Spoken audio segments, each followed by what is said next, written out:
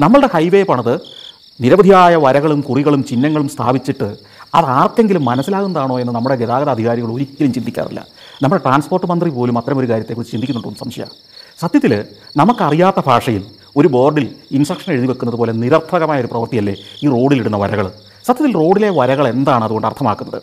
അതെന്തിനാണ് നമ്മൾ അനുസരിക്കേണ്ടത് എന്നത് പഠിപ്പിക്കേണ്ടതല്ലേ ഓരോ ഡ്രൈവർമാരെയും നാല് വരിയോ ആറ് വരിയോ ഉള്ള പാതയിൽ ഏത് ട്രാക്കിലൂടെയാണ് K S R T C bus പോകേണ്ടത്? അല്ലെങ്കിൽ ബസ്സുകൾ പോകേണ്ടത്? അല്ലെങ്കിൽ ലോറികൾ പോകേണ്ടത്? ചരക്ക് വാഹനങ്ങൾ പോകേണ്ടത്? വലിയ വാഹനങ്ങൾ പോകേണ്ടത്? എന്നതിനൊരു നിയമമില്ലേ?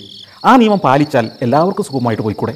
അത് ഓരോ വാഹനത്തിന്റെയും ഡ്രൈവർമാരെ ഇനി പഠിപ്പിക്കുക എളുപ്പമായിരിക്കില്ലായിരിക്കാം. പക്ഷേ ഒന്ന് ചോദിക്കട്ടെ?